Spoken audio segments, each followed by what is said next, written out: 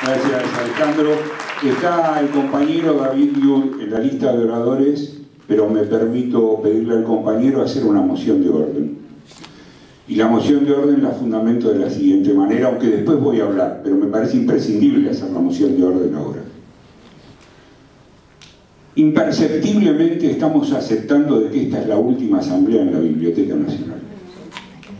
Y yo personalmente no estoy de acuerdo con ese temperamento. Entonces yo creo, compañeras, compañeras y compañeros, que uno de los mecanismos de disciplinamiento, de subordinación que parte de este pueblo ha decidido poner en discusión ocurrió la semana pasada cuando desacatando todas las operaciones que había en los medios, fuimos al obelisco, fuimos a las plazas y nos pusimos la campaña a los hombros.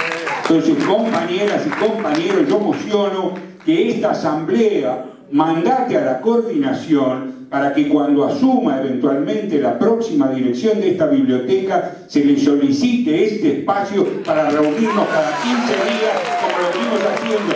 No hay que resignar un solo espacio público, no hay que resignarlo, resignarlo es la derrota y tenemos que avanzar.